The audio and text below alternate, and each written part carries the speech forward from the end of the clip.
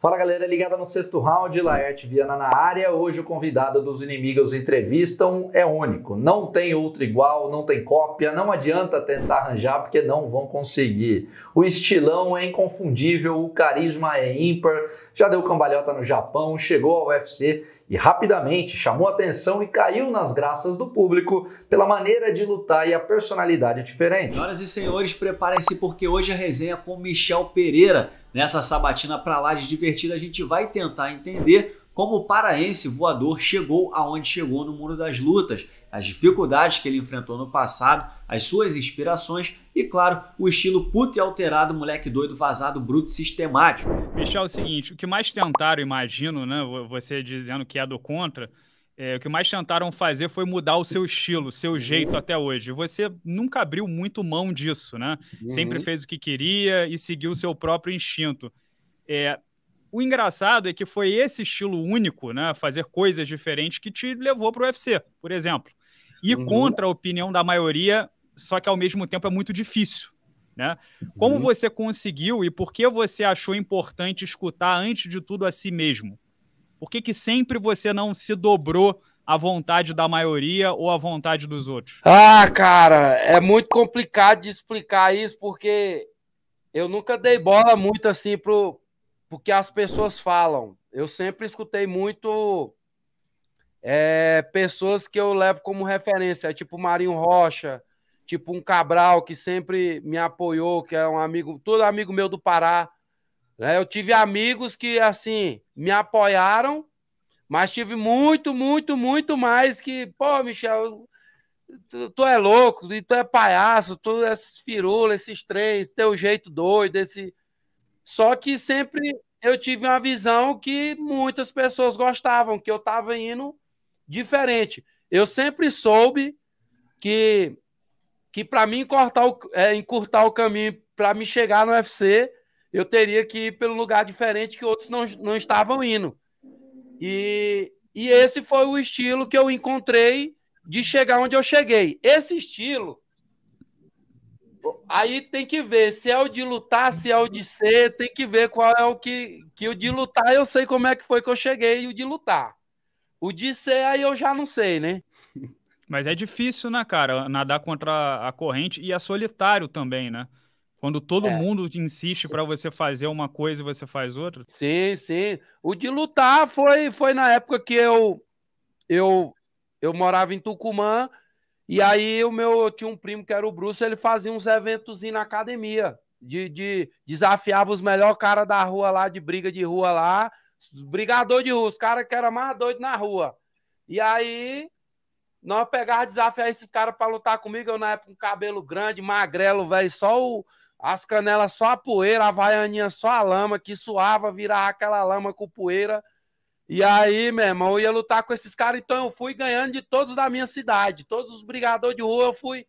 Só que por eu treinar o karatê, eu sempre tive esse jeito. E eu era muito fã do Anderson, né? Eu sempre tive aquele o, o estilo diferente do Anderson, de dar cara, de. Então, querendo ou não, antes ele teve uma influência sobre o meu estilo de, de lutar. E aí meio que eu dava a cara que nem ele, eu não sei o quê. E com isso eu fui criando o meu estilo, porque eu venho da dança, eu já dancei rebolê, já é, tudo que tu imaginar dentro de uma academia eu sei fazer, porque eu fui criado dentro de uma academia. É, zumba, aeróbica, body combat, step, jump, tudo que tu imaginar dentro de uma academia eu sei fazer.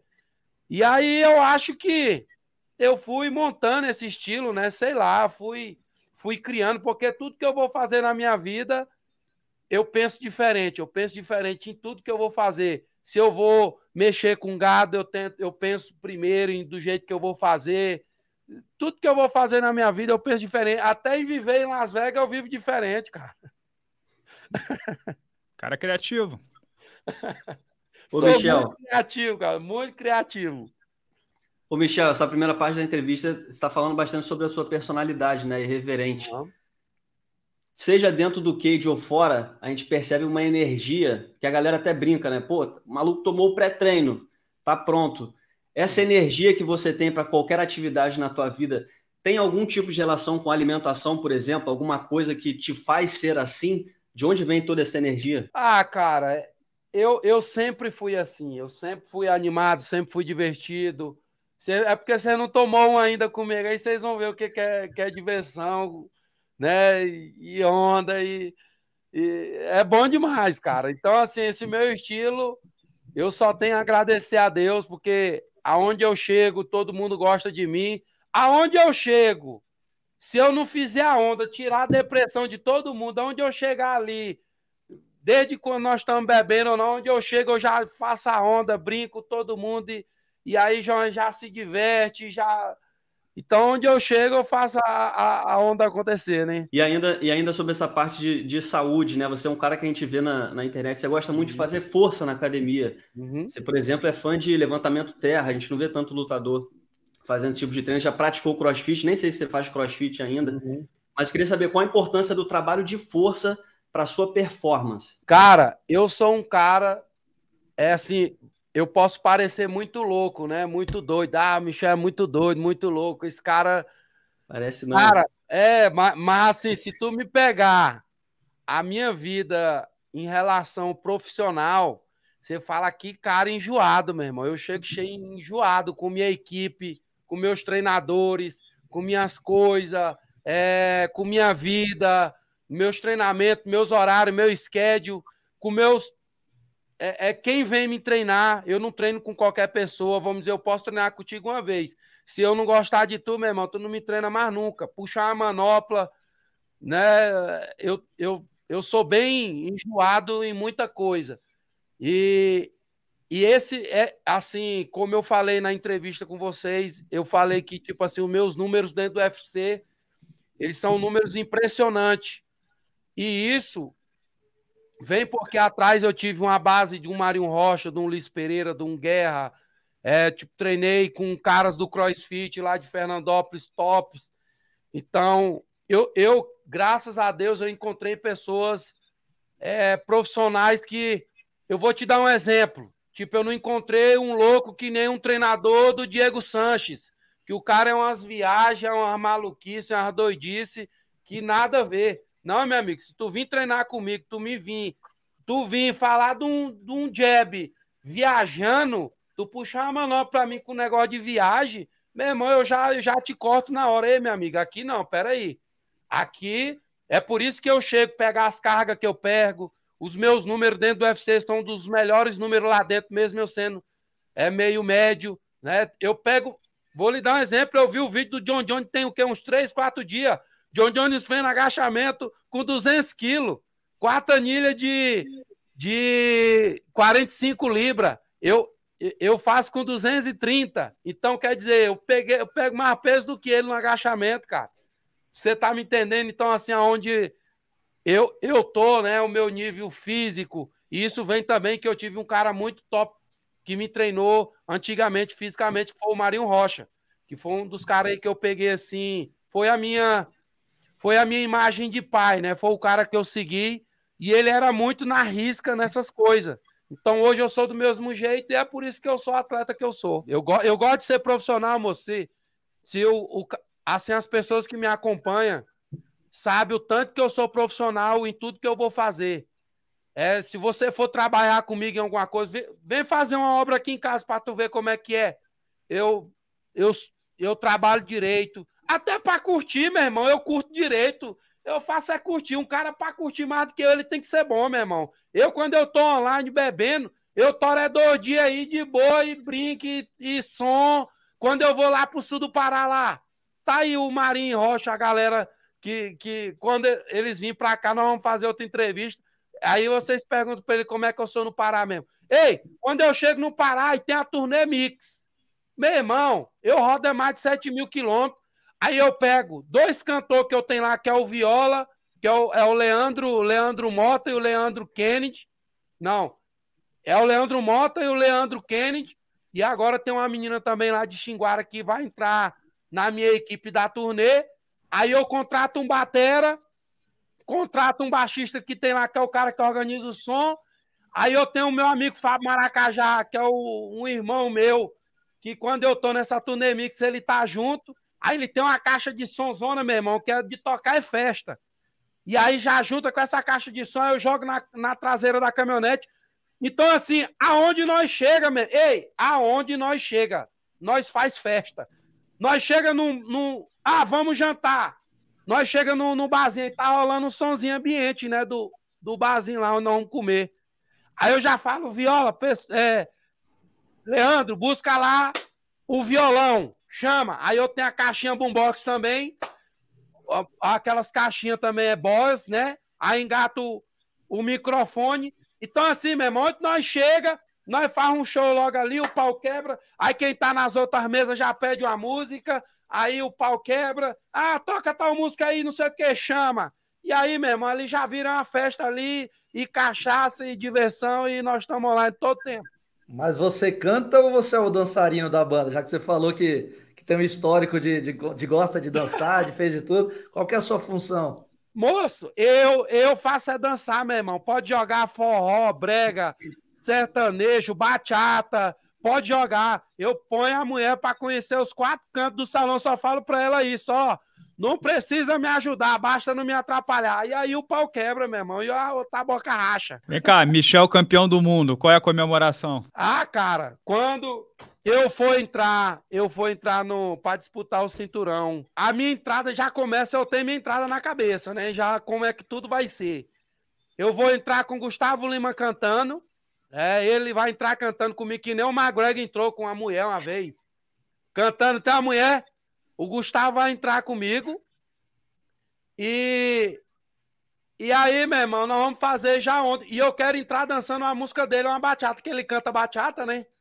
E aí eu quero entrar, meu irmão, e vocês vão ver o pé de valsa que eu vou ser, meu irmão. Vocês falam, esse moleque é bicho doido mesmo, dançarino de bachata.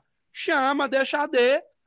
Meu irmão, tem um vídeo meu aí dançando é com duas mulheres lá no Japão, pô, quando eu dava aula lá de zumba, body combat, step, bachata, o acha quatro lá, dançando com duas mulheres lá, porra, aluna minha. Mas, rapaz, que onda, papai. Michel, para terminar da minha parte aqui, que conselho o Michel de hoje, de 29 anos, daria para o Michel de 16 anos? E se o Michel de 16 anos teria orgulho do Michel de 29 anos? É nunca desistir dos seus sonhos, né? Que sonhos foram feitos para serem realizados. Eu falaria isso para ele. Michel, nunca desista, que o que você quer, você vai conseguir.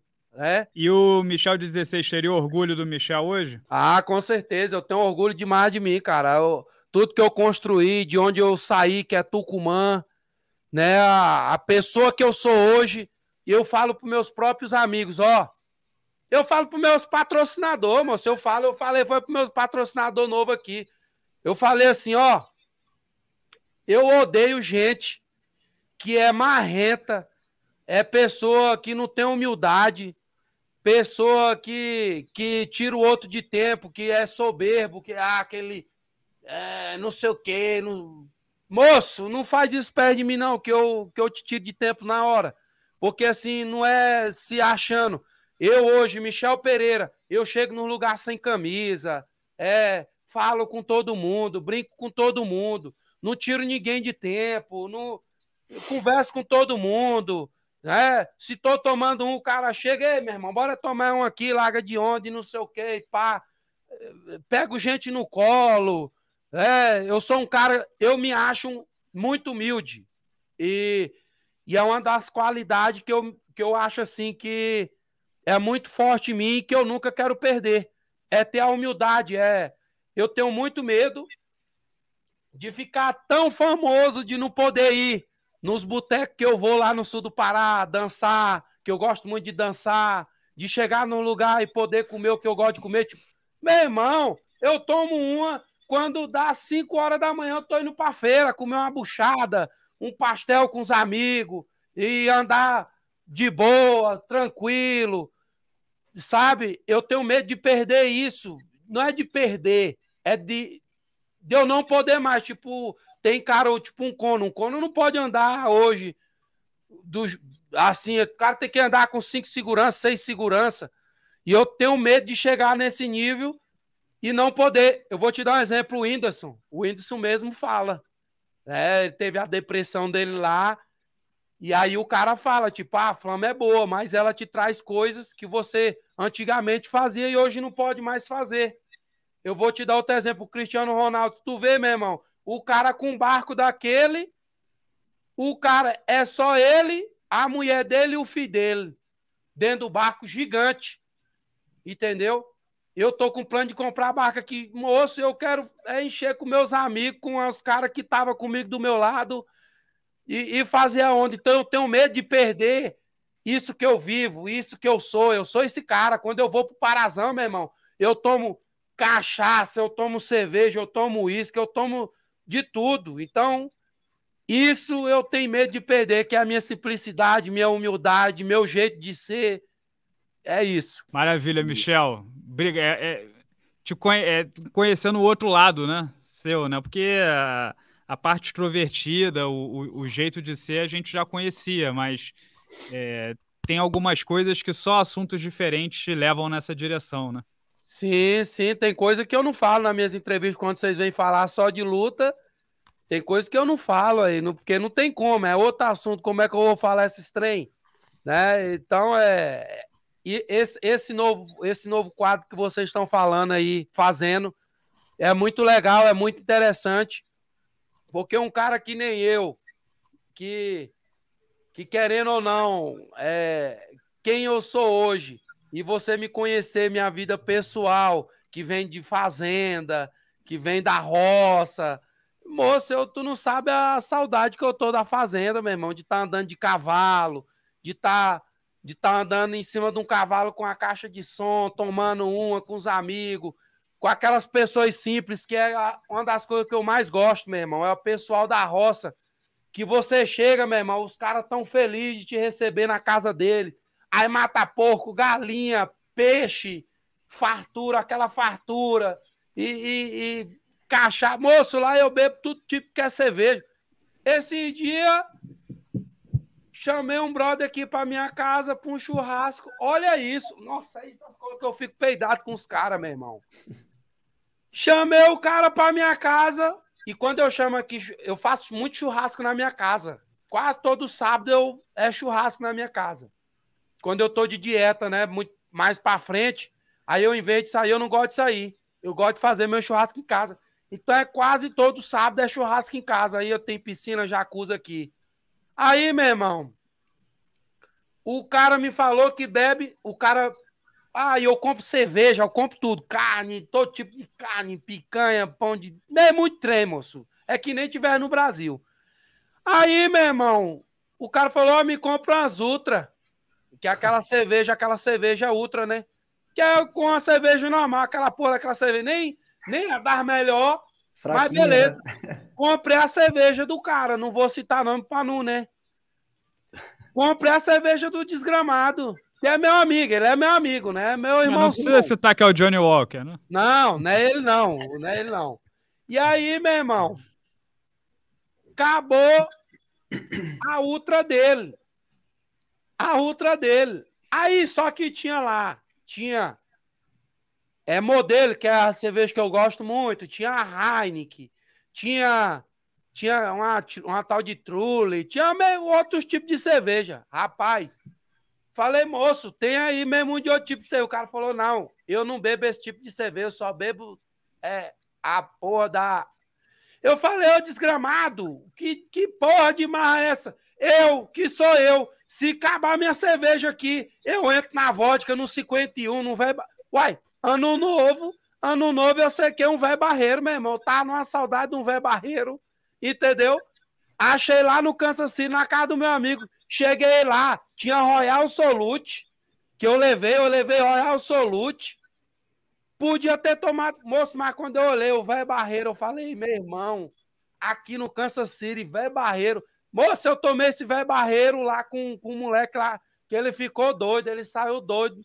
E eu de boa, meu velho barreiro, tranquilo. Aí os caras, esses viado, fica com essa marra da porra que não bebe não sei o que, que não faz não sei o que. E, e sabe, é umas marras da porra, os caras querem ser coisa que não é. Me dá uma raiva, meu irmão. Você ser.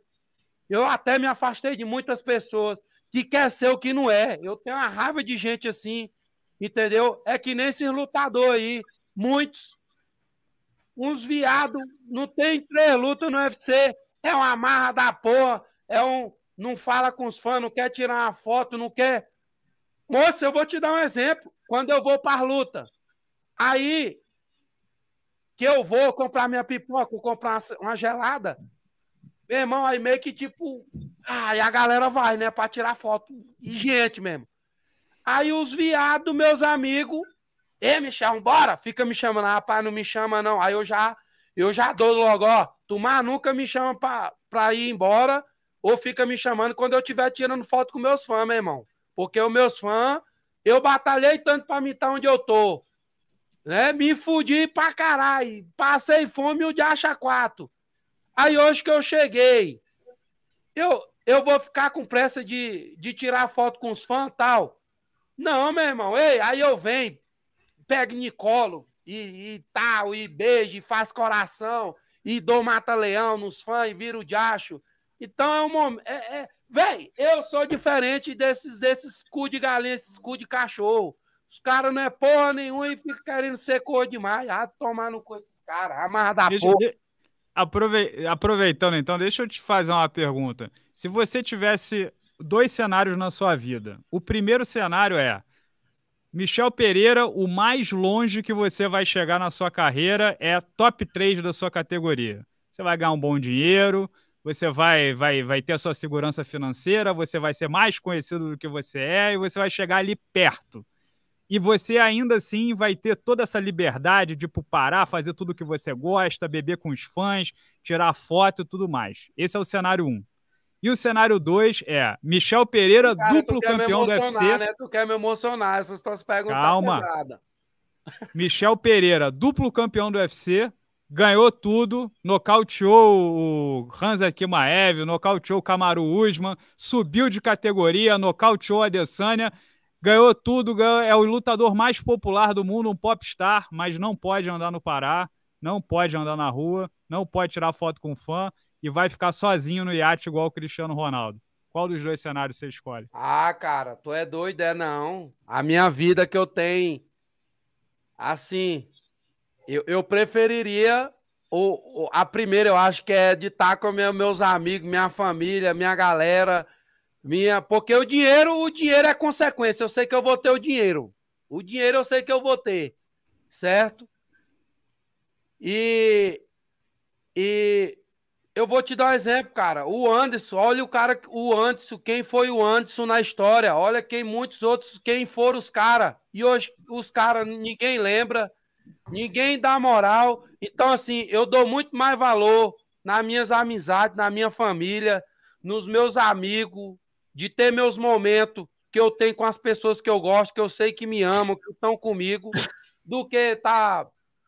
É, que eu sei que eu vou ser um cara que eu vou fazer história por ser diferente, por, por fazer as coisas certas, por, por ser o atleta que eu sou, por ser a pessoa que eu sou. Eu sei que eu vou chegar em lugares que nem o Mário Rocha fala, Michel, tu vai chegar em lugares que tu nunca imaginou na tua vida, certo? Mas é, eu quero, eu quero chegar e eu vou chegar, mas eu não quero perder a pessoa que eu sou e fazer as coisas que eu faço. Eu não quero, não quero. Esse paralelo que o Renato fez lembra muito, jogando para o futebol, uma comparação rasa, a questão do Neymar, né? Que para muitos, de repente, abriu mão de, de ser o melhor do mundo para poder desfrutar mais da vida, dos amigos e tudo mais. É... Ei, ali curte mais do que nós tudo junto, menino. Tá louco? Hã? Curte, o é, cara eu... curte. Eu, eu, cito um campeão do UFC, para muitos o melhor lutador da história do MMA, né? Dependendo do filtro que você aplica, que entornava, bebia, virava a noite Mas... e muito, muito, muito mesmo, que é o Jorge St-Pierre. Só que ele tinha uma, uma seguinte disciplina. Ele, ele, ele virava à noite, mas ele estava na academia no dia seguinte, independente de ter que vomitar ou se sentir mal, se sentir bem. Ele nunca perdia um treino, mas ele vira, enchia a cara direto. Perfeito. É mais ele, usa, regra, né? ele usa uma estratégia, é, é. eu já uso outra. Ele usa o quê? Porque assim, o americano, eles treinam todo dia, mesmo com luta ou sem luta, eles estão treinando. Né? E aí eles curtem, vivem a parada e eu já sou diferente. Eu, quando eu não tenho luta, meu irmão, eu não gosto nem de que fale de luta comigo. Eu odeio quando eu tô offline Eu odeio tu vir me falar de luta, meu irmão. Conversar sobre luta. Odeio. Não conversa de lutas comigo, não, meu irmão. Vem, com, vem tomar uma comigo e bora conversar de outra coisa, meu irmão. Onde. E, né, falar de lutinha, mas não vem falar de luta, não. Então, você é bem diferente, Michel, porque Aí, a, a maioria não pode levar essa rotina, não. Aí eu, eu sou assim, cara. Marcou minha luta. Eu já parei de beber, parei de festa. E o único dia que eu saio é no sábado. Eu só tenho um dia para sair, que é no sábado. Né? Eu posso sair na sexta e no sábado à noite. Na sexta à noite, eu posso sair fazer alguma coisa e no sábado. Só que vai chegando mais próximo, nem isso mais eu faço. Então eu corto a cachaça, eu corto minhas amizades, meus amigos, eu me afasto. É, eu tenho outra vida profissional. Minha alimentação é outra. É, se eu quero fazer alguma coisa que é tipo todo eu, os meus churrascos, eu chamo minha galera para perto de mim, porque assim também, como eu sou muito regradinho, muito correto no meu treinamento, no final de semana eu tenho que fazer alguma coisa. Só que dia de domingo eu já não faço mais nada. Tipo, domingo agora passado, me chamaram. Uns me chamaram para ir para o Lake Mead, outro me chamou para acampar, outro me chamou para ir para uma pupari, outro me chamou para ir para a casa de, um, de uns amigos que ia ter uma festa lá de um casal que é até amigo meu também. E eu falei, não, eu tenho que treinar na segunda-feira. A minha segunda-feira é o meu treino mais duro que tem, então eu tenho que descansar no domingo. Então é diferente. Eu eu vou do, do zero ao 100, meu irmão, entendeu? Então é Você é 880. Você é 880. Isso, Mas... sou diferente. Por isso que quando tu me vê online, roteando, em tempo real, em Las Vegas, o pau quebrando no planeta aí, fala assim, não é possível que esse é o Michel, não, rapaz. Que nem muito já falou, e moço, tu tá bebendo, tu é atleta. Eu falo, moço, vai te lascar que porra de atleta, agora eu sou atleta, não. Agora eu tô online, meu irmão, agora eu tô puto alterado, moleque doido, vazado, bruto, sistemático, meu irmão. Tô Ô, Michel, Hã? Eu vou te expor aqui rapidinho, porque você está falando tanto, eu nem ia mostrar.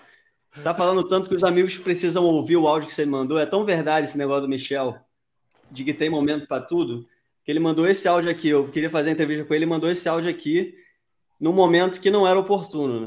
Cara, eu tô de férias, eu tô de férias, eu tô em alto mar, tomando uma.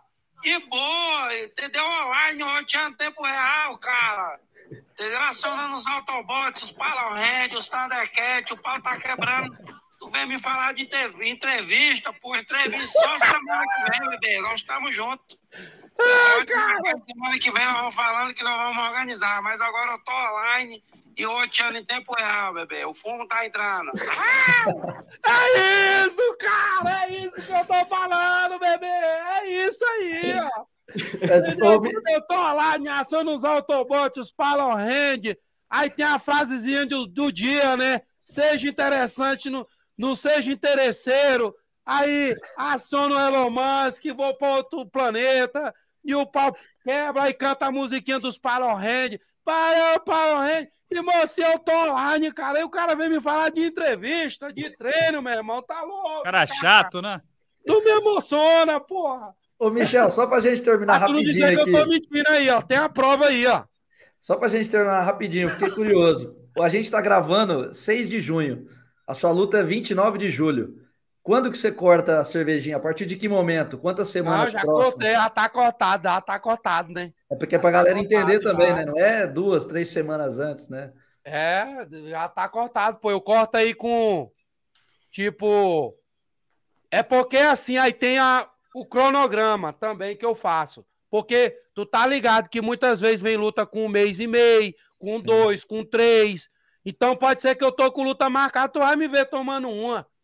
Mas não é porque, ah, o Michel é viciado. Não, eu tô no meu aqui, ó. Tá aqui a parada. Não, meu irmão, tal dia, para tantas semanas, pá, eu corto ali.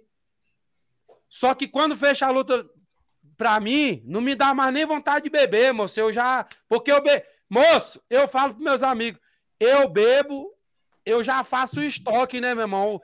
Quando eu tô bebendo, eu faço estoque já para tipo meus dois meses de camp, então não me dá mais nem vontade de beber, entendeu? Aí fiz o estoque, já bebi tudo que eu queria, curti tudo que eu queria, festa, tudo. Agora, meu irmão, tô online focado, treininho de boa, só o filé, comidinha de reta, entendeu? Pronto. Agora, essas porra desses americanos, esses viado, termina a luta de lutar, tava segunda-feira treinando, terça-feira treinando. Aí o cara vai treinar, não tem vontade de treinar, tá estressado, tá puto que as. Não, meu irmão, eu voltei a treinar agora, foi com vontade, meu irmão. É de pegar, chegar na academia e voar naqueles pesos lá e jogar eles para riba, meu irmão. É por isso que eu pego mais peso que um John Jones. É por isso que eu pego mais peso que muito peso pesado aí, meu irmão. Põe peso pesado no bolso, 9,3 no bolso, 8,4 no bolso. Quando eu falo que eu luto de 7-7, nego pira, porra. É porque vocês nunca viram eu treinando lá no, no, no UFC lá, as cargas que eu coloco. Quando eu tô treinando, nego para olhar eu treinando, meu irmão. 8-4, porque eu sou 7-7, né? Os caras. Rapaz, que desgraça que esse cara pega esses, essas cargas, meu irmão. Bike, meu irmão, bike. Tan, tan, tan, 8-4. Cara de 8-4. Vai no máximo 2 mil. Tipo, no número lá, né? Vai no máximo 2 mil. Eu vou pra 2.500, meu irmão. E olha que eu sou 7,7, cara. Tu tá me entendendo? Galera, esquece que, que cerveja é carboidrato, né? Pois é, cara. Olha aí, aqui, ó. É, tô online. Agora é treinar, focar pra gente dar show dia 29 de julho, entendeu? Aí eu vou chegar lá, dar meu show, pá. E aí no domingo eu já. No domingo não, terminou a luta o, os caras já sabem, já me espera já com cooler, cheio de gelada, que eu tô, tava, tá online já, meu irmão, com sede. Aí vem o Coutinho pedir entrevista, né? O cara aí chato o Coutinho, demais. E me emocionar. Esse dia do Coutinho aí, eu tava acampando, meu irmão, no meio do rio, de boa, ouvindo o meu Gustavo Lima, online. Aí o, o cara vem me falar de entrevista. Olha aí. Falei, não, cara, agora não, agora eu tô online. Tá certo. Boa, Michel. Como vocês puderam notar, essa entrevista com o Michel e as demais entrevistas do Inimigos Entrevistam são mais frias. Perguntas mais sobre passado, hábitos, formas de pensar. A gente tenta desconstruir os atletas de nível mundial. Então, as perguntas mais quentes sobre a próxima luta, como ele está treinando, quem ele trouxe para o camp, vocês conferem nos canais Encarada, né, do Coutinho, e o canal Laerte Viana na área, o novo canal do Laerte. Eu vou deixar os links aqui dos lados. E aqui embaixo vai ter uma playlist com as demais edições do Inimigos Entrevistam. Clica aqui, dá uma maratonada. Já falamos com Patrício Pitbull, já falamos com Gilbert Durinho, todas ficaram muito legais. Beleza? Grande abraço a todos, espero que tenham gostado e muito obrigado pela audiência. Tchau, tchau.